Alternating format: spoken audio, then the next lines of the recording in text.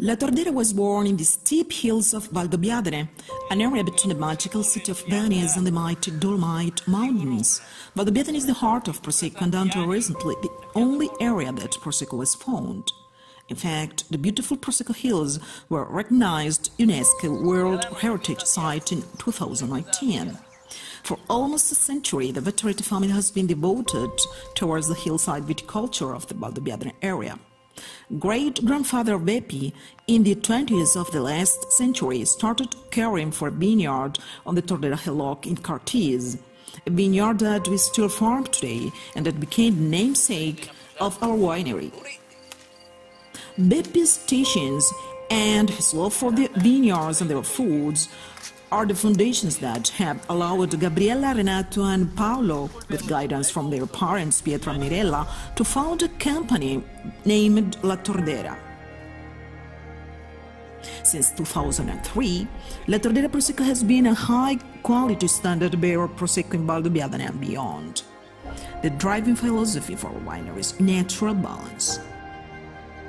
Natural balance to us means doing things by hand and respecting the rhythms of nature in the way we farm.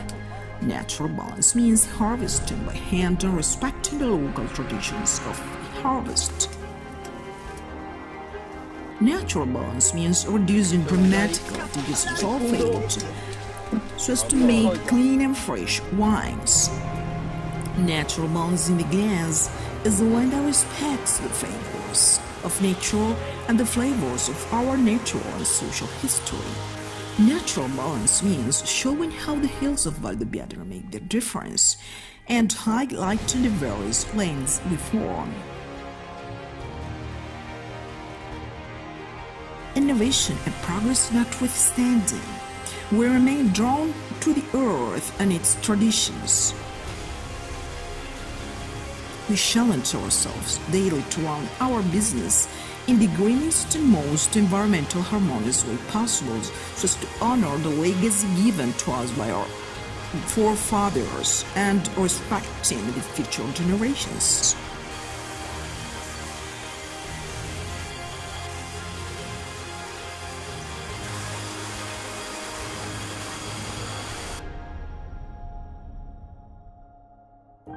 Our winery is certified Casa Clima Wine and generates its own renewable energy through the use of solar panels, our farming is low impact and respectful of the earth's resources.